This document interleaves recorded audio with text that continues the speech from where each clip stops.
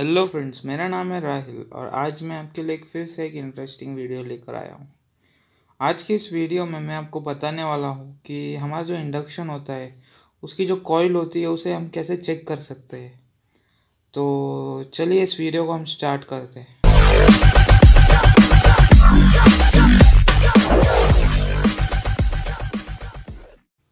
जैसे कि आप देख सकते हो, ये है इंडक्शन की कॉइल और ये उसके दो कनेक्शन हैं।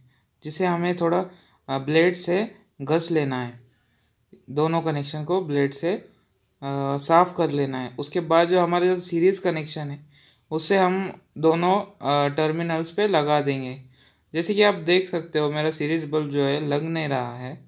तो इसका मतलब ये है कि ये कॉइल जल चुकी है। कभी कभी ऐसे भी होता है कि कॉइल जो है, ये तो ऊपर से जली हुई दिख रही है। लेकिन कोई कोई कॉइल जो है उसकी एक तार भी टूट जाती है तो कॉइल चालू नहीं होती है। तो उस कॉइल को हम इस तरह तरीके से चेक कर सकते हैं। अब मैं जो है आपको जो न्यू कॉइल है उसे चालू करके दिखा देता हूँ। मैंने इन दोनों कॉइल के टर्मिनल टर्मिनल्स पे आ, मिक्सर की जो पिन रहती है वो अटैच करती है।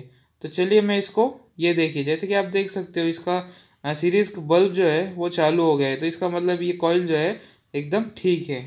अगर आपको मेरा ये वीडियो पसंद आया हो तो इसे लाइक सब्सक्राइब और शेयर ज़रूर कीजिएगा। और अगर आप कुछ नया सीखना चाहते हो तो मुझे कमेंट में ज़रूर बताना। Thank you very much